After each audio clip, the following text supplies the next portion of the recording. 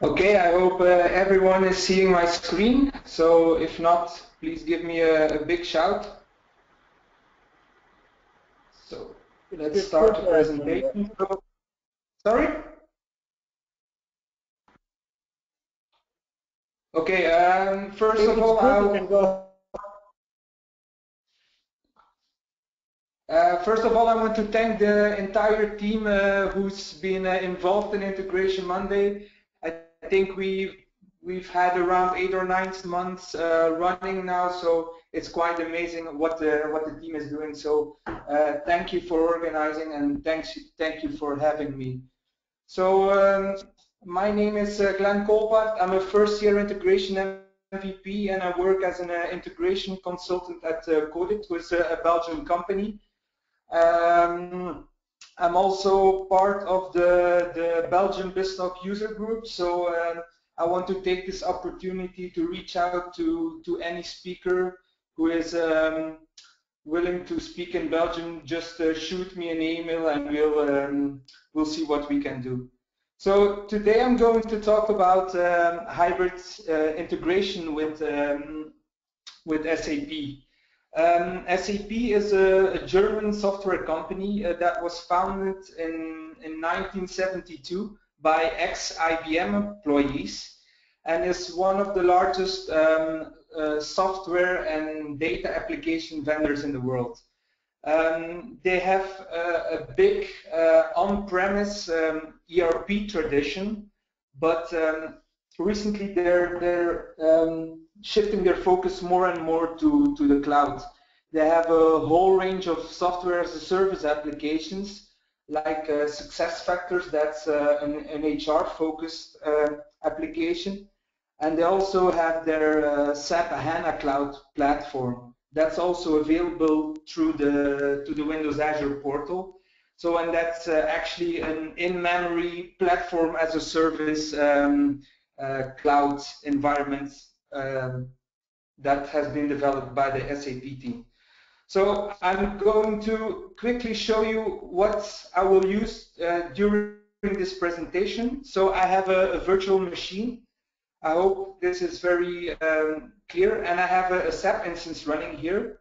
So if I log in, you immediately immediately see the, the interface of SAP. For the people who are not familiar with it, there's um, there's the. This is the logon screen where you log on. I will quickly uh, log in. So let's hope I get the password right. So, and this is actually the main screen of, of the SAP environment. So here on the top, you have the, the navigation buttons and the search buttons to, to navigate around your screen or to, to search for certain functions or, or, or web. Here on the, on the left side, you have the, the SAP menu. And uh, this is actually um, a link to all of the available um, uh, sub-application inside SAP. For example, um, to monitor your uh, connections and so on. Here on top, there's a little box, and um, that I will be using um, most of the time during the presentation. And this is actually to, um, here you can enter your transaction. And this is actually a, a short a shortcut to uh, to a transaction you fill in. So just to show you, I will now navigate to transaction SM59, which is basically just um, um, the, the list of the, the RFC connection. Here you also see that there's a, um, an RFC connection um, to my BizTalk available. So this was quickly to show you um, around the SAP interface. So, and to start integrating with um, with BizTalk or with any other um, other application uh, or from the cloud, you need to um, prepare your SAP environment to to open up um, its connections and to to start preparing the necessary things. So first of all, you need to create a user. This user, it will be um, will be will authenticate to the SAP system and will have um, certain roles and profiles on this on the on the system. For example, it can have an administrator role or a read-only role on certain on modules or, or certain functions. So that's um, for the user part. So, and the second thing is that you need to create the RFC destination. Um, this is actually where you specify the, um, the program ID, um, the connection type being Unicode, non-Unicode, and where you can execute certain connection tests. Um, maybe it would be a good idea if I demonstrate you this. So, so here you have the, the RFC destination created for BizTalk. And one of the most important things is here the program ID. When integrating with BizTalk on-premise, you need to specify this program ID inside your URIs and, and your uh, receive ports or send locations. Next to that, another important thing is the Unicode. Um, to integrate with BizTalk, the system always needs to be in Unicode, so that's also important. So next to the RFC, um, you have to create a, a transactional port. Um, and that's basically a, a, logical container for your RFC destination. And at the end, you need to create um, a partner profile, which basically links it all together. So uh, next to the, to the different types, you see certain codes like the SU1 or the SM59. Those are the SAP transaction codes. Then those codes you fill in in the transaction box uh, at top of your um, SAP environment to directly navigate to the um, function. So in the first part of this talk, I'm going to show you how we've done integration um, on a traditional way. So using uh, only BizTalk server on-premise and an on-premise um, SAP system. Of course, um, to integrate with SAP, you need to prepare your uh, BizTalk environment by installing certain um, certain SDKs or, or preparing uh, certain um, certain configurations. So first of all, you need to install the uh, line of business adapter SDK and the BizTalk adapter pack. So uh, both of them come with um, with the BizTalk installation. So it's very easy and simple to do to install those. It's um, a pretty simple next next finish um, wizard. There's a, a, little star next to the adapter pack. Um, this is just to to emphasize that um, you also need to execute this step when doing a hybrid uh, connectivity. For example, using Logic apps or, or BizTalk services. Another important thing is to um, install the, the SAP RFC client assemblies. There's also a little star next to it, which basically means you also have to use the uh, install the client assemblies when doing uh, hybrid connections. So, and those um, client assemblies can be downloaded uh, from the SAP marketplace. Uh, important thing to mention here is to always download the um, the latest um, client assemblies uh, from your customer. So do not use previously downloaded ones just to um, make sure you have the latest version. Um, another important thing to mention uh, about these RFC client libraries is that um, SAP recently announced that these um, RFC libraries we're currently using at all our BizTalk projects and um, communications with SAP are going to um, be deprecated uh, somewhere in March 2016. So from then on, we have to use the new um, SAP NW or SAP NCO um, client assemblies, which are also available for the marketplace. Um, another important thing to mention here is that currently the, um, the BizTalk uh, adapter does not support these new libraries. So, um, but a little bird told me that the team is working hard on it to get those um, those support for those new libraries uh, up and running uh, very soon. Um, the next thing is you have to deploy the SAP property schema onto your um, BizTalk environment. This is only necessary for an on-premise integration um, um, setup. Um, why do you need to do this? The SAP adapter, when receiving files, it promotes certain properties to the context. And you know, if you try to promote uh, a value to a, a property that's not um, of the schema that's not deployed, you will get, of course, errors. And then the, the last one is you need to configure certain environment variables. And those uh, environment variables um, is just um, a file that is being used by the RFC client uh, assemblies. And I think Mitch wrote um, a good blog post about it. Um, so I will um, I will maybe share that on Twitter uh, after my uh, presentation. So a bit on the architecture. Um, the SAP adapter exposes the SAP system as a, a WCF service to, to client applications. Those client applications uh, exchange SOAP messages with the SAP adapter through uh, the WCF channels.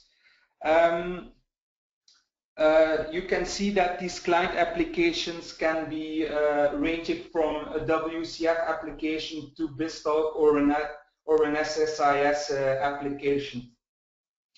So, and the SAP adapter itself, behind the scenes, uses the SAP RFC library um, to connect to, uh, to the SAP uh, server.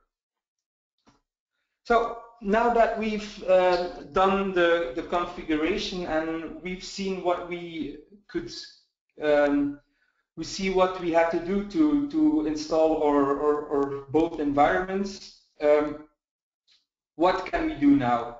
We can start exchanging IDOCs and uh, BAPIs. So uh, IDOCs is actually um, a representation of a, of a business document, of, of, an, um, of a, a function. And then um, a BAPI is uh, a business application uh, interface. So an RFC is the protocol used to call the those functions. So in other words, uh, a BAPI is basically uh, a function module that can be called uh, over the um, RFC protocol. So I will um, show you a demo now uh, on how um, we get IDOCs from the SAP system. So we have our SAP system, we have a BizTalk server, and we have a SQL database. I will log on to my SAP system and then um, push an IDOC towards BizTalk server and just a simple demo, BizTalk will put that uh, IDOC into the SQL database. So um, I will open up my virtual machine. So this is my um, SAP environment. I will quickly delete those records from the result table. Otherwise, you will probably not believe me that this works. So if I execute now, there's uh, zero results in the database. So what what I've created,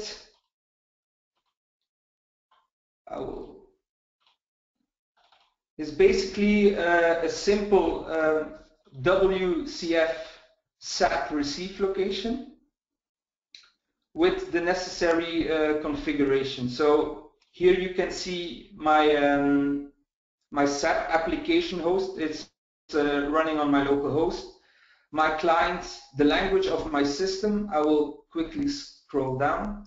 So again, my gateway host, local host, gateway service, and then you see here the, the famous program ID that is, that is necessary um, from the from the SAP. So if we go, so let me first show you how we can do a connection test. So we go to transaction SM59. So if I open up the BizTalk connection and I and I click here on connection test, this connection test should succeed. So this already went quite good. So now I will try to push out an, uh, an IDOC towards my uh, SQL server. So we go to transaction WE19. This is the, the transaction for the, for the IDOC processing tool. So if we open this up, I will select an existing IDOC. I've did this demo today just to test if it works. So I will select an existing IDOC. And then I will, um, so I will just modify it. So I will, um,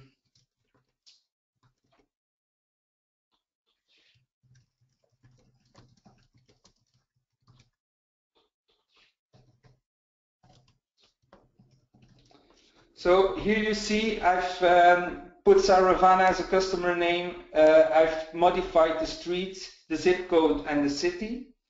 So if I press OK now and choose for standard outbound processing, this will send a test IDOC to my BizTalk server. So below you can see IDOC has been saved in the database, which basically means the IDOC has been processed towards the um, external application. If we do a select now, it fails, which is not good. So let's see what's happened. I will just disable and enable my receive location again. Maybe restart the host instance and see if I can my MSDTC is giving issues so let me just try again. So I choose the standard outbound processing. It has been saved to the database and normally now I should see an IDOC uh, coming in so the first IDOC um, you see it, it also has been processed, but normally it will come uh, later. Um, SAP has an internal retry mechanism. So if I if I don't forget, I will come back later to the SQL and just um, refresh it, and then hopefully the second um, IDOC should be uh, in there as uh, as reprocessed.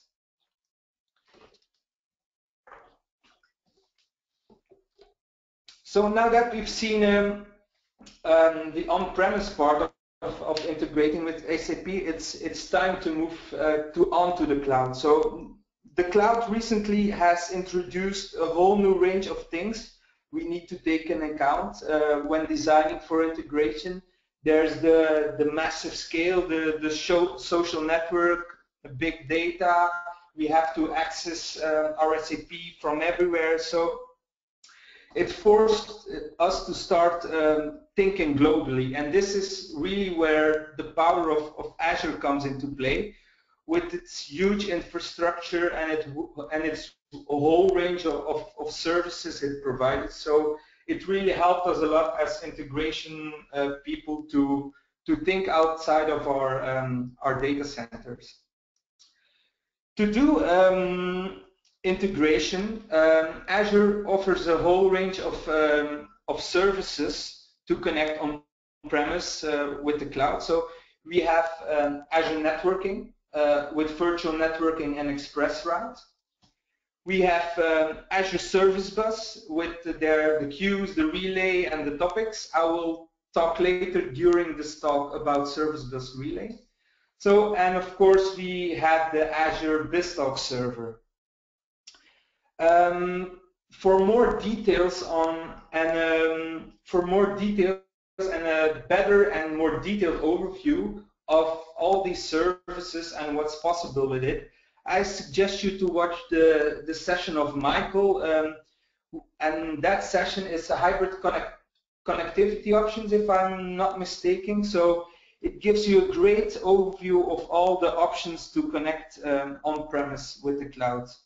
So next to the previous service I, have I've talked about, since a couple of months we've got uh, a new set of possibilities to connect to the cloud with on-premise. So and therefore we have the new um, Azure App Services uh, with the web apps, the mobile apps, the logic apps, and the API apps. So the more important, two more important things for us as integration persons, I think, would be the uh, the logic apps and the API apps. Um, during the rest of this talk, I will focus on some of these options. I will talk about um, Azure Service Bus, um, Logic apps, and uh, API apps. And I will do this, um, I will support the rest of this talk with demo called um, SAP Airlines.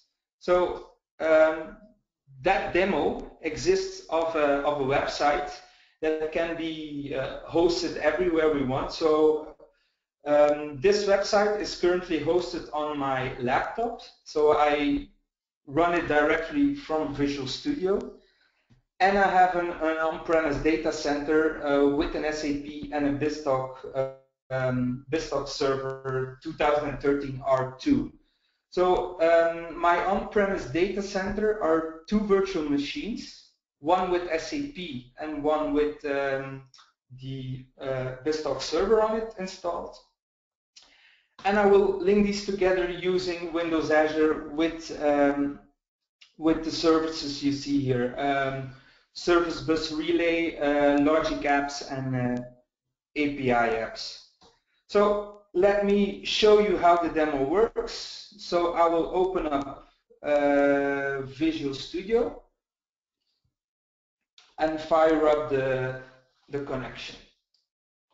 So as you can see, I hope this is somewhat clear. I will zoom a bit in. So you have a welcome screen where you can select your um, one of the airlines. So I will, to make it easy, I will select American Airlines.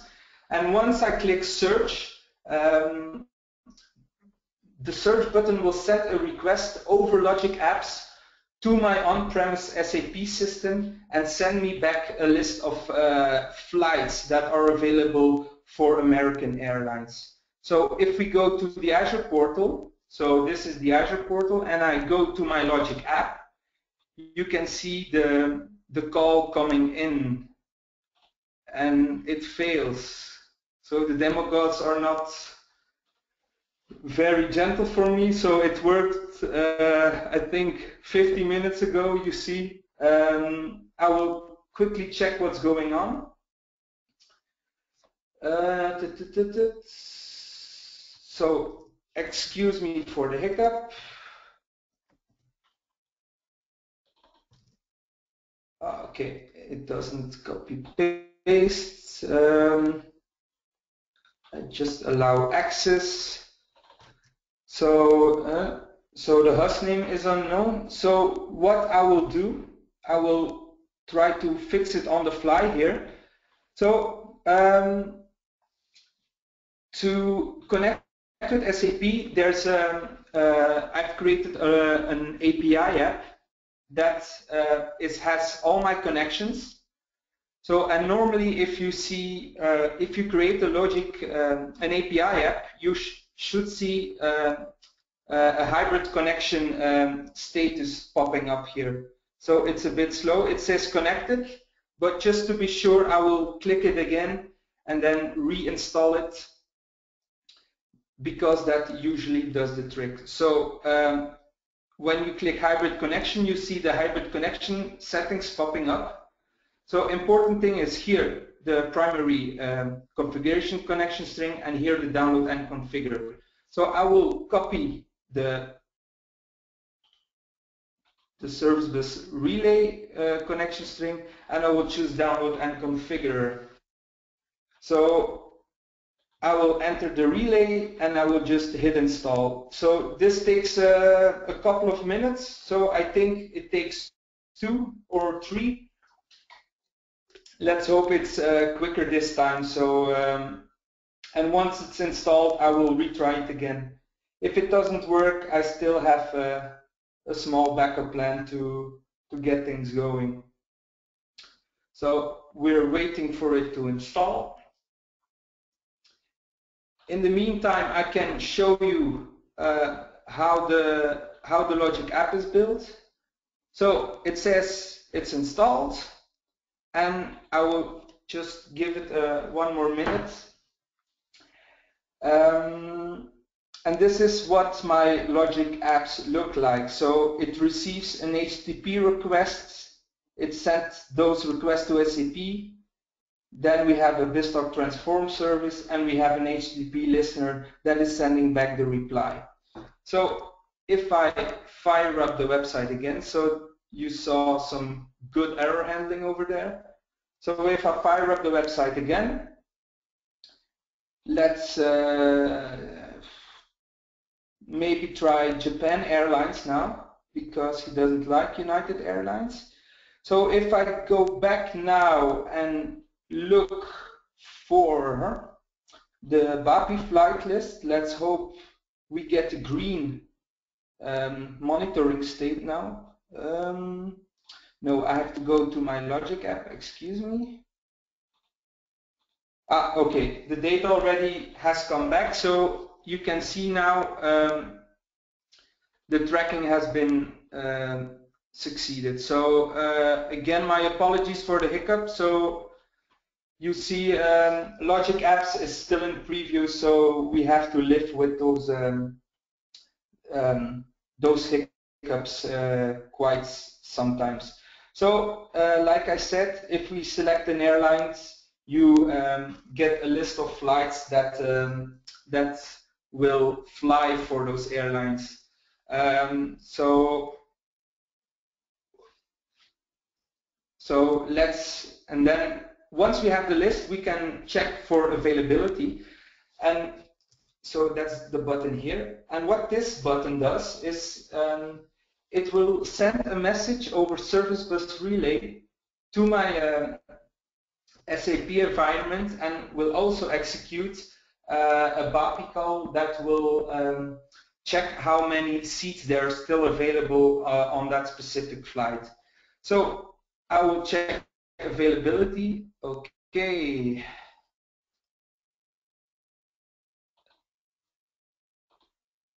So I have quite some issues. Let's see if this still this hybrid is still running. oh, I see there's problems with. I'm now uh, logged into the old portal. I will do a refresh.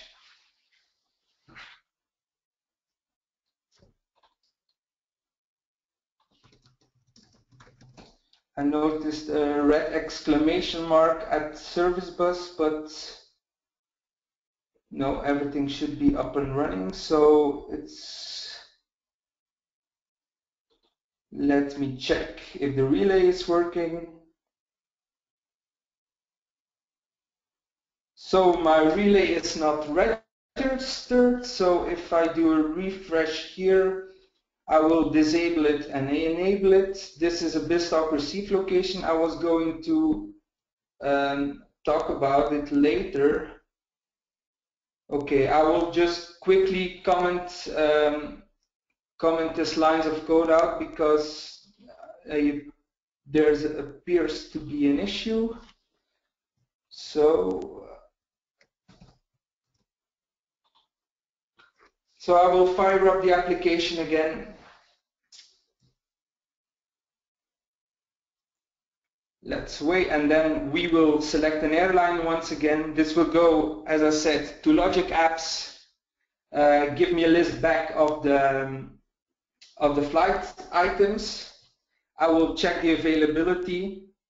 So this now normally goes over Service Bus Relay to my SAP environment but now this generates some um, some dummy data. Then we can book the flights. We can fill in some uh, some data.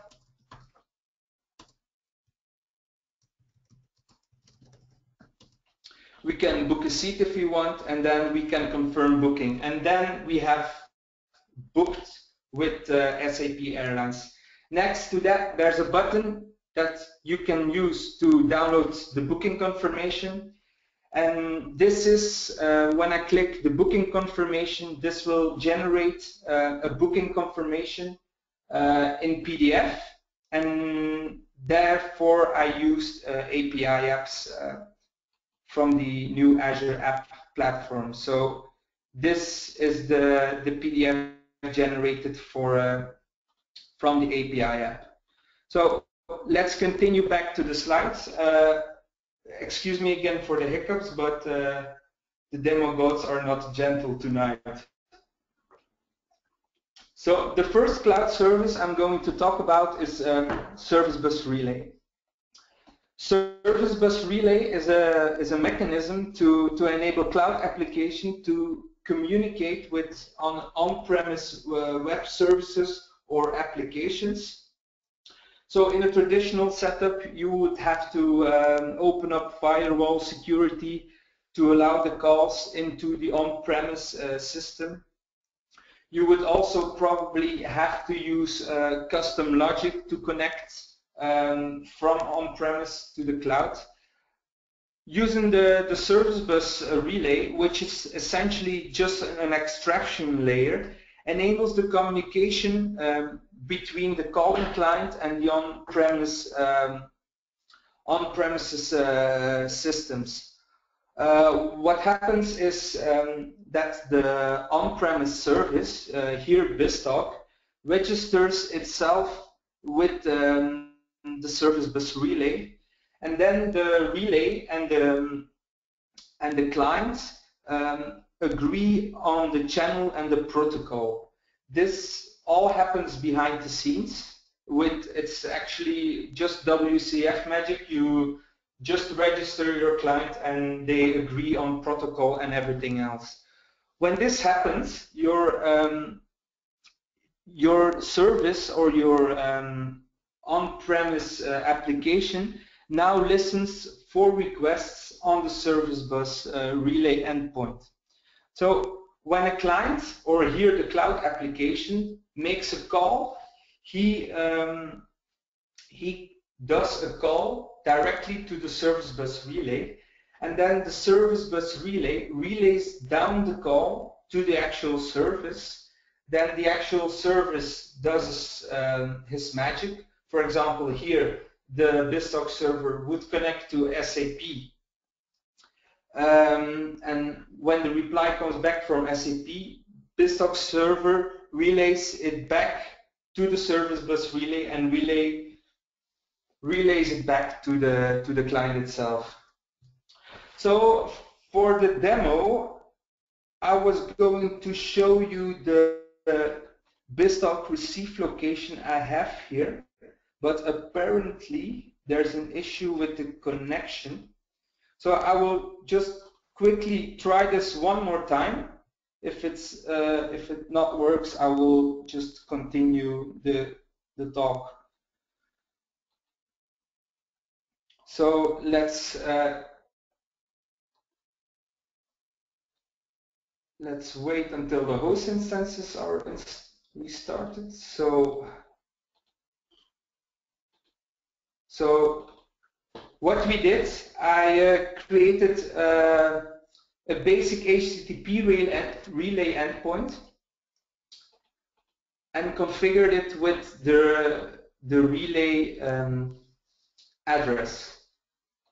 As security, uh, it uses the, the old STS connections um, to connect to the relay. So normally if I enable this, um, then BizTalk would register itself as a client onto the relay and then the messages can come in uh, through the relay service onto my on-premise uh, application and then um, relay back up. So as you can see, there's a, um, I am unable to uh, connect. So there's an issue here. I will not look uh, look into it further. But uh, if you have um, a client registered, I can probably show you it here. This is the, the relay created by uh, the Logic app. So once you have uh, a client registered, you will uh, you will see it um, being uh, entered in this list of um, clients that have been registered on the on the relay service. So let's continue. So um, I'm going to quickly talk about um, about Azure BizTalk services. So um, there has been uh, not much, or can I say none, further development on this since I guess last year. So it still has the two major parts being the B2B and the um, and the EAIs, and it's um, it used the the BizTalk adapter service um, to connect from uh, on the cloud to um, to the on-premise, and um, the adapter service uh, behind the scenes also uses the service bus relay. So um, uh, what about the future of the BizTalk services? So um, it's production ready and it's uh, it's available from the from the cloud platform. So if you want, you can still use it. So um, the existing features that are currently in BizTalk service, uh, Azure BizTalk services, are currently all available on the new Azure platform. So um, there's also uh, an easy migration available. For example, the, the mappings that you used in your Azure BizTalk services can be easily migrated to um, the mapping API app that it's uh, also fairly simple to use. And like I said, um, the current features from uh, BizTalk services are all available on the Azure App Platform um, that is currently in preview. So um, I would suggest uh, to take a look at that first before uh, making any uh, production stuff with the, the BizTalk services. So I don't have a, a demo on the BizTalk services. Um, for the people who uh, saw my talk uh, on this in, in the Netherlands, uh, I had a BizTalk service demo there and I replaced the, the BizTalk service demo part with uh, the Azure App Service um, demo. So, like I said, the, the, late, the last and newest service I'm going to talk about is the new Azure App Services that is currently available through the, um, through the new, new Azure portal. Uh, as you can see, as you saw uh, uh, a, few slides back, there are four major parts.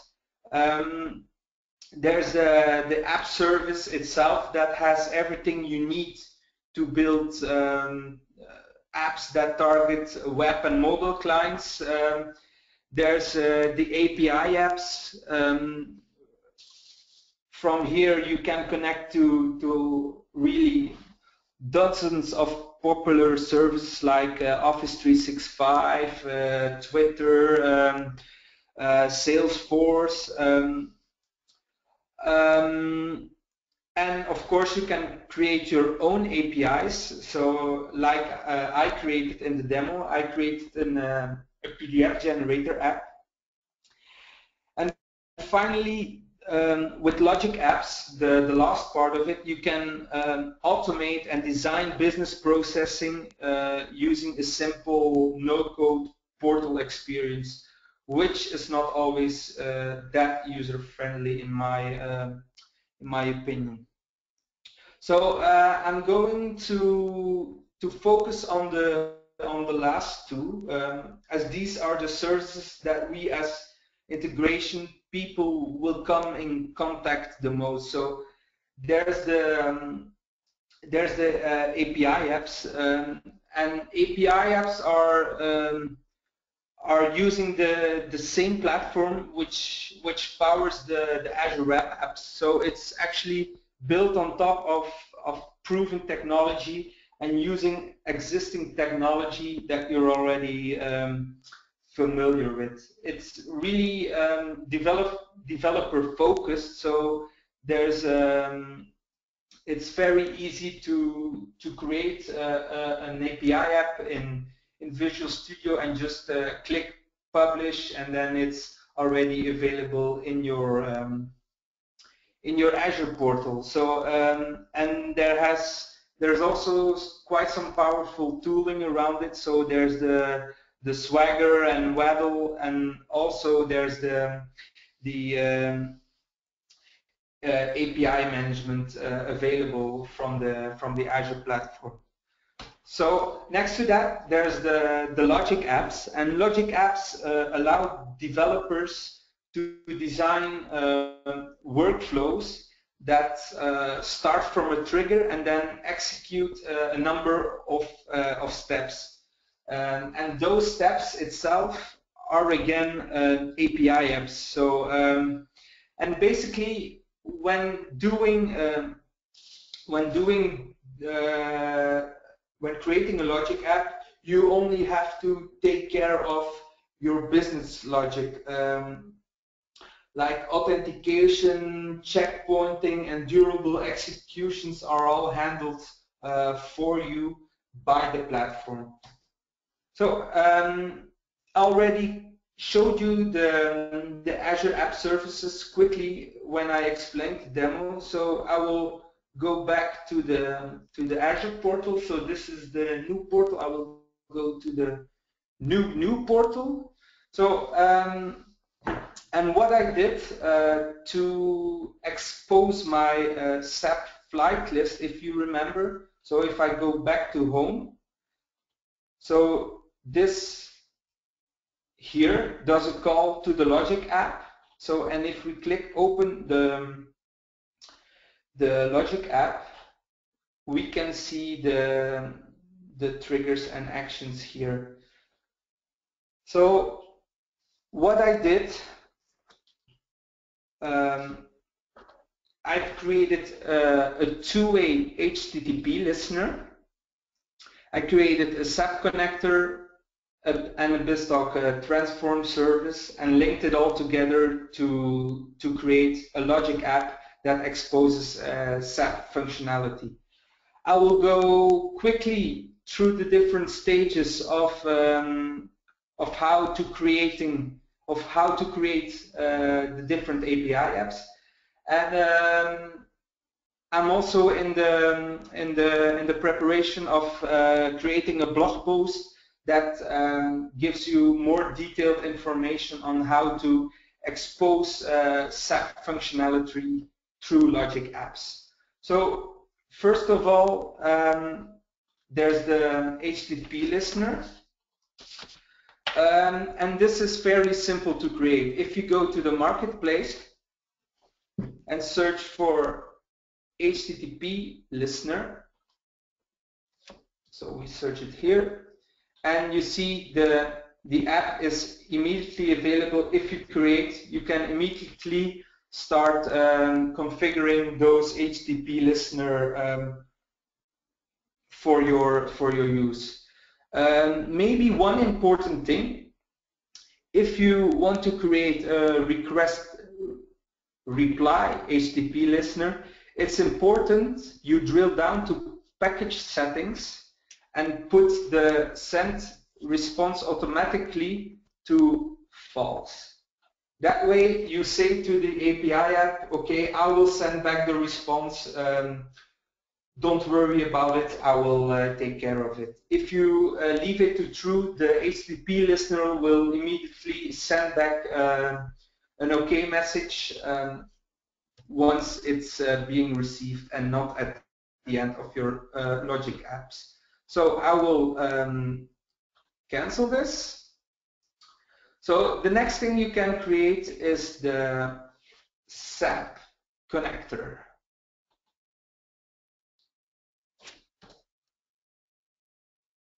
So if we click the SAP connector, it's basically the, the same um, functionality as the HTTP listener. We click create and then you can start um, configuring your your settings.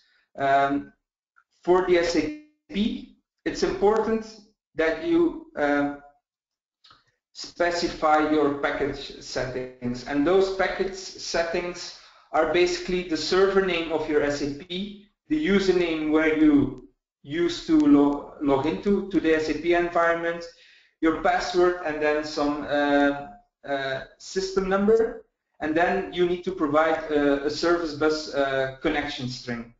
This is uh, the service bus connection string is then used to um, to install the the relay service uh, onto your system, like um, you saw when I debugged my uh, Logic app uh, issue. So I can show you it. So this is the API I created for uh, for SAP.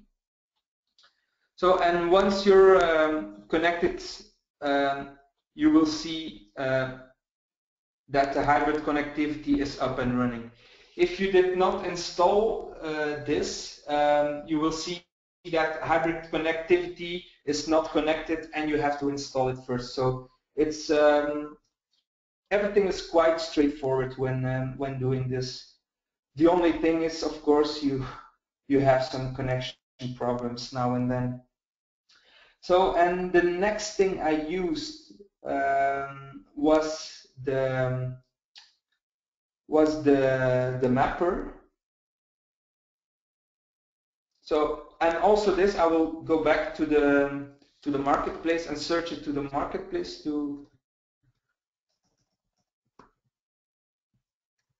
I don't know how it's called. A transform.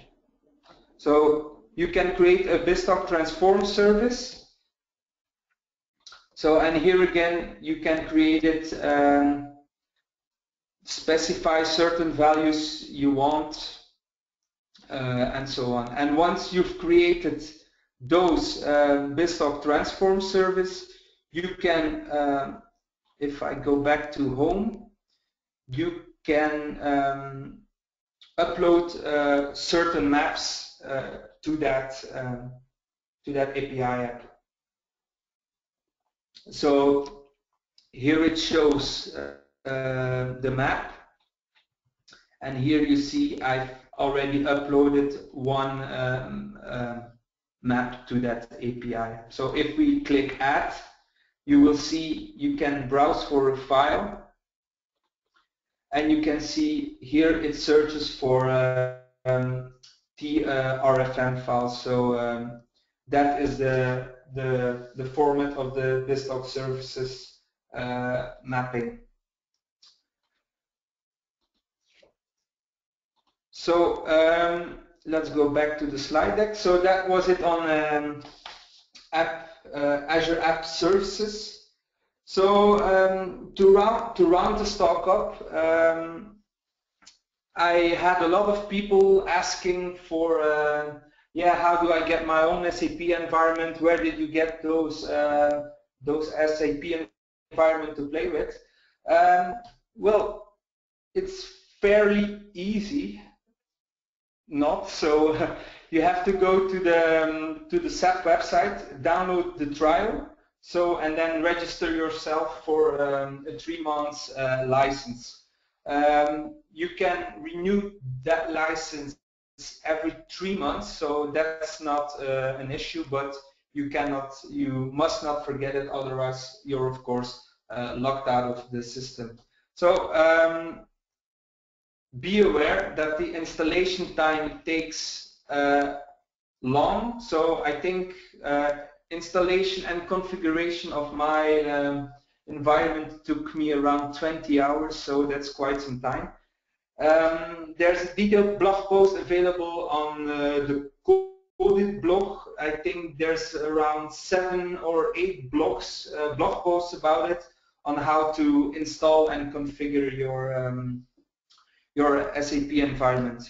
So I will, um, this rounds up my talk. So I will check the live chat to see if there's any questions.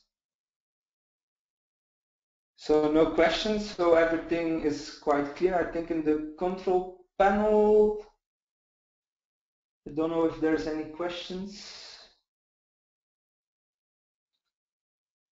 I, can I see it here?